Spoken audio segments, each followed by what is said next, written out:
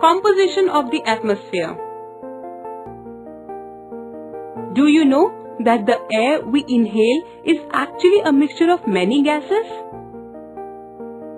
More than three quarters of the atmosphere is made up of nitrogen.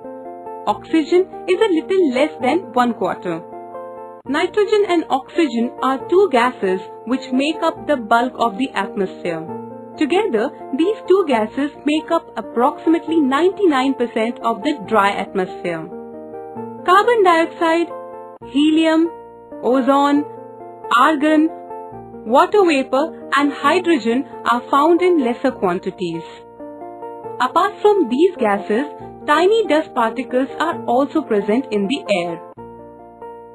Nitrogen Air, which is 78% nitrogen gas, N2, is the major reservoir of nitrogen.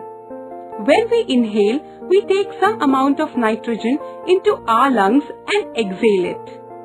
But all living beings require nitrogen for their survival. Elemental nitrogen in the atmosphere cannot be used directly by either plants or animals.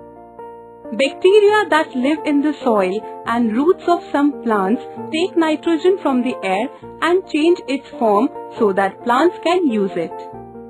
Plants are also able to assimilate nitrogen directly in the form of nitrogen compounds that may be present in the soil. Animals get nitrogen containing compounds by eating plant proteins.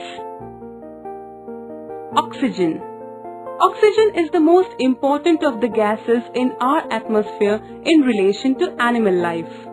Without it, each of us and most of the animals on earth would die in a matter of just a few minutes. Humans and animals take oxygen from the air as they breathe. Green plants produce oxygen during photosynthesis. In this way, oxygen content in the air remains constant. If we cut trees, then this balance gets disturbed. Carbon dioxide Carbon dioxide is another important gas. Green plants convert carbon dioxide and water into food compounds such as glucose and release oxygen. Humans or animals release carbon dioxide. The amount of carbon dioxide released by humans or animals seems to be equal to the amount used by the plants which make a perfect balance. However, the balance is upset by burning of fuels such as wood, coal and oil. They add billions of tons of carbon dioxide into the atmosphere each year. The amount of heat in the troposphere depends on concentration of atmospheric greenhouse gases such as carbon dioxide. As a result, the increased volume of carbon dioxide is affecting the Earth's weather and climate.